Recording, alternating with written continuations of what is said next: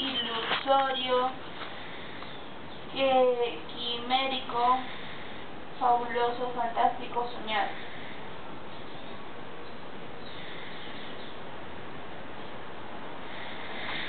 Entonces, contrario es imaginario, real, aparente, oscuro, tácito. real. Y está puesto oscuro.